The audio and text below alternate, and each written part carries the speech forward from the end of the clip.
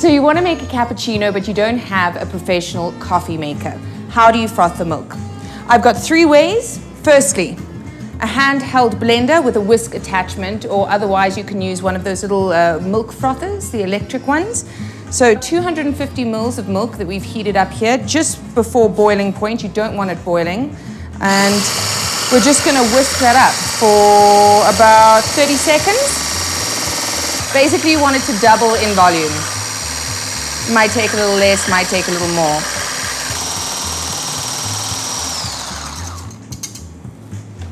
Okay, not bad. It was 250 mils and now we've got 400 mils. So a nice bit of froth.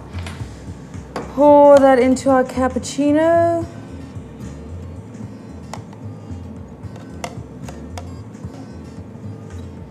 Yeah, not too bad. Next I'm going to use the handheld plunger. It's just a French press or coffee plunger. It's not the, the milk frother attachment that you get um, because I think that this just works as well, if not better. So once again, 250 mils of milk that I heated up in the microwave just below boiling point on and then we just froth. Basically you're aerating. Uh, same with, with the whisk, but just different because you're pushing it through basically a sieve. A bit of arm strength.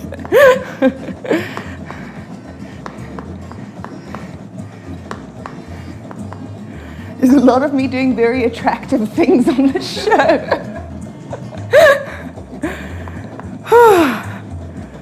okay.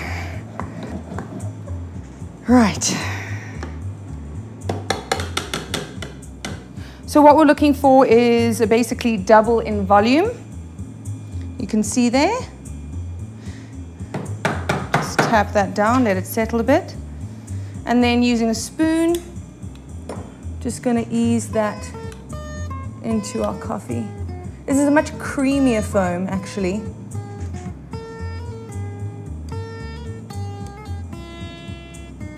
It actually looks bloody delicious. If I don't say so myself. Last, we've got a simple glass jar and a lid. We're to pour the hot milk in. Again, a cupful, 250 mils. Virtually at boiling point lid on. If it's not a tight screw lid, use a cloth because it might splatter, and shake.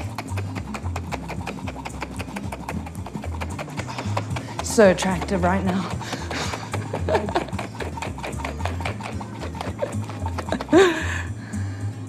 right. Let that settle. Take the lid off. So that was about 40 seconds, I'd say. And in we go.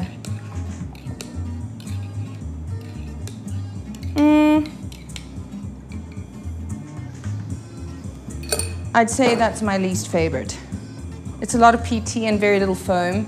Uh, there's just not enough aeration.